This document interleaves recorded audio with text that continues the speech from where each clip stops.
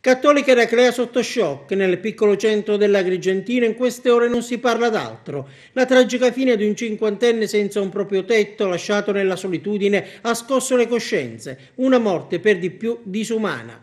Il corpo, che dovrebbe essere quello di Liborio Campione, è stato trovato carbonizzato all'interno di un capannone che ha preso fuoco molto probabilmente a causa del malfunzionamento di una delle stufe elettriche presenti per riscaldare l'ambiente. I carabinieri hanno accertato che l'uomo viveva in una porzione di quel deposito.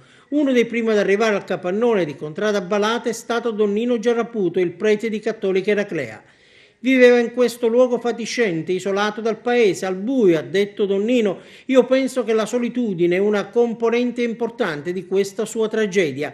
Ha voluto salvare il cane, il suo unico migliore amico. Stiamo vivendo un momento doloroso. Liborio, oltre ad essere una persona sola, non faceva male a nessuno, era solo ed era buono, sono ancora le parole del parroco che poi ha osservato. Era un disoccupato, veniva alla mensa della solidarietà, è stato con me ieri perché abbiamo preparato la processione dell'Immacolata, viveva a stento, prima di mangiare lui dava da mangiare al suo cane, voleva essere indipendente, gli dicevo sempre che poteva venire da noi in canonica, ma ha sempre detto di no, non voleva rinunciare al suo animale. Oggi ci si preoccupa di tutto, di tanto, ma è tempo di preoccuparsi anche della povertà, sono ancora le parole di Don Geraputo. Intanto, sul fronte delle indagini, sul capannone i reparti scientifici dell'arma effettueranno dei rilievi ed attenderanno la perizia che dovrà essere depositata dai vigili del fuoco.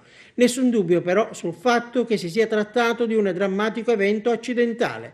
La Procura, naturalmente, ha aperto un'inchiesta.